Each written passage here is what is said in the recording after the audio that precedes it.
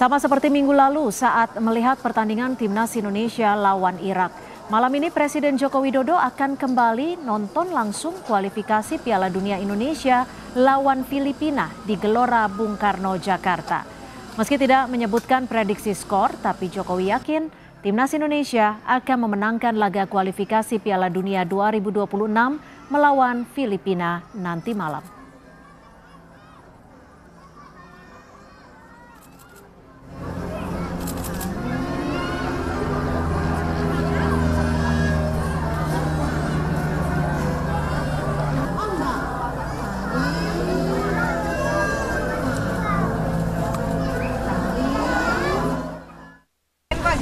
Hmm? Indonesia Filipina. Menang.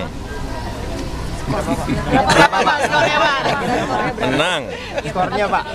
Menang. Tapi nanti nonton ya Pak. Nonton, menang.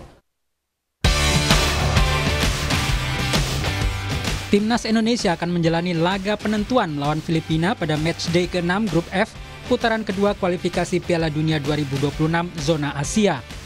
Tim asuhan Sintayong wajib mengamankan tiga poin dalam pertandingan.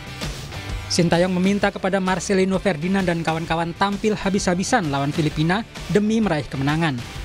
Pelatih asal Korea Selatan itu juga mengingatkan skuad Garuda untuk tidak memandang remeh Filipina yang sudah tersingkir dari kualifikasi setelah kalah dari Vietnam.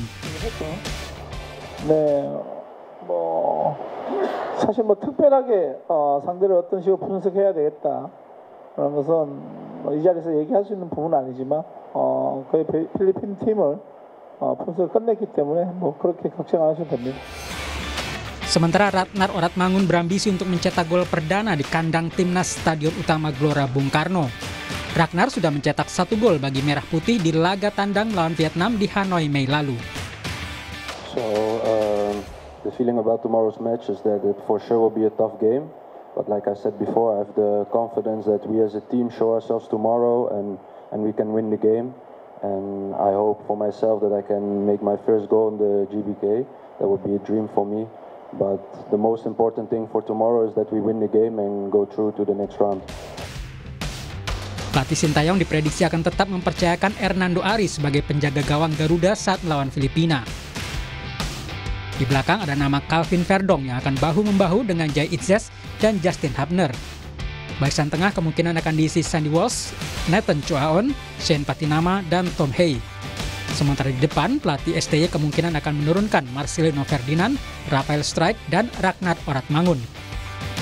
Tim Indonesia wajib meraih kemenangan dalam pertandingan itu demi lolos ke putaran ketiga kualifikasi Piala Dunia 2026 zona Asia. Skuad Garuda saat ini duduk di peringkat kedua klasemen sementara grup F dengan mengemas 7 poin. Bersaing ketat dengan Vietnam yang mempunyai 6 poin. Tim Liputan Kompas TV.